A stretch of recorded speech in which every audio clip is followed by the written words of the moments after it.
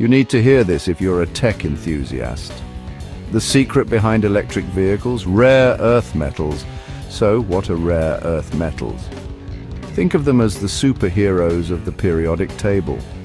They might not wear capes, but they power up electric vehicles like nobody's business. These metals, like neodymium and lithium, are used in EV batteries and motors. Now imagine your EV as a super smartphone. The battery is like the phone's heart, and the motor is its brain. Rare earth metals keep these parts running smoothly, giving your EV long range and zippy acceleration. But here's the twist. Rare earth metals aren't actually rare. They're just tricky to extract and refine, making them, well, special. So next time you see an EV zoom by, remember, it's the rare earth metals working behind the scenes. They're the secret sauce that makes electric vehicles the future of transportation. Stay curious, tech enthusiast. Until next time.